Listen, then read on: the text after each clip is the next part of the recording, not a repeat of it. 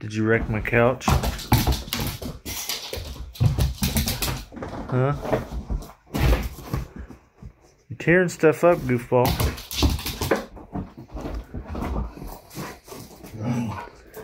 What? I know. That's you're acting crazy. You're being crazy. I know.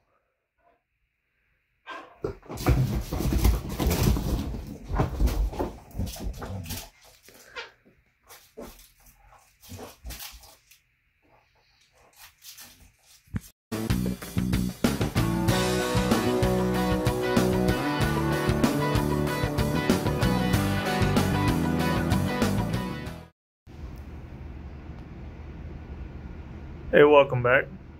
Just wanted to do a brief channel update.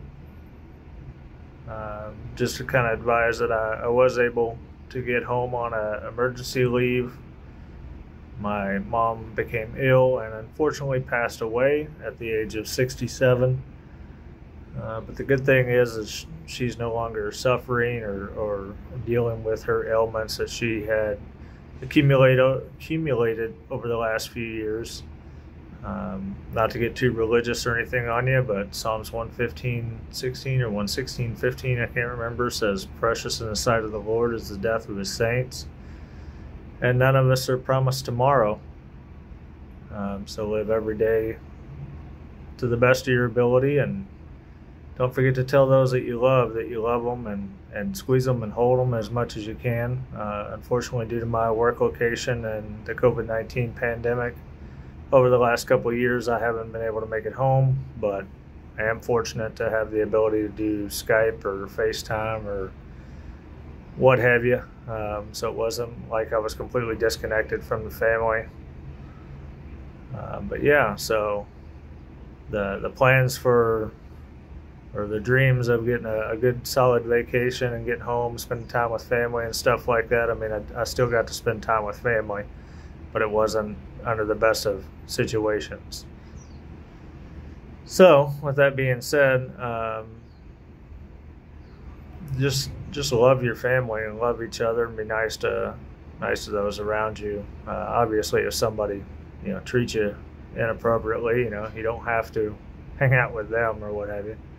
But anywho, uh, while I was at home, I did get to open some of the packages um, that I have bought over the last couple of years or that I had at the house that I hadn't opened uh, from the last vacation. So I did kind of do a few rambling unboxing videos, kind of in like a long log cabin looms uh, style. So there'll be a few of those posting on the, the channel here and there, just a little bit of different content. Uh, still be doing the Swiss Army knife videos. Uh, they'll be posting on Sunday or Monday, uh, depending on where you're at in the world. Uh, but the other videos I'll probably post maybe once a month or something like that on like a Thursday or a Friday, maybe in the middle of the month. Like I said, just to add some different content. Hopefully, um, this work trip won't be as long and I'll be able to get home and, and do a little more of the stuff I like to do. I started doing the Swiss Army knife videos just because I wasn't able to get home.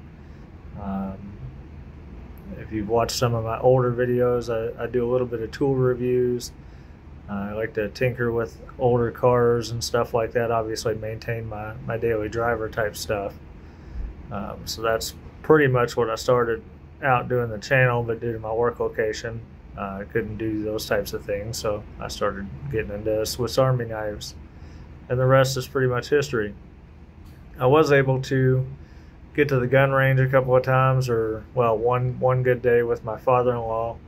I uh, didn't plan to make any kind of videos or anything like that, so we just kind of have uh, some cell phone camera videos of me shooting my AR-10 and 308, and then shooting his hunting rifle, which is a Winchester model 742 and 308.